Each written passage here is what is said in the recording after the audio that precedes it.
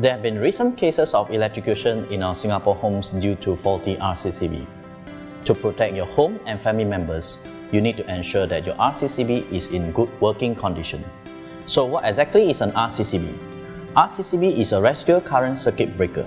This equipment will cut off electricity supply at our home in the event of electrical current leakage.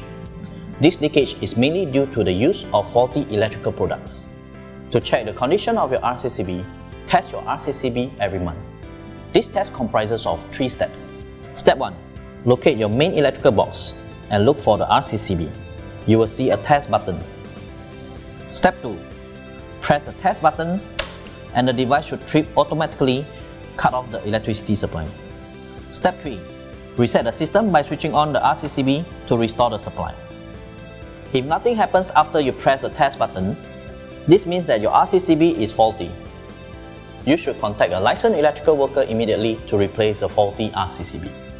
This will avoid any accidents or electrocution at home. To protect your home, conduct a 3-step RCCB test today.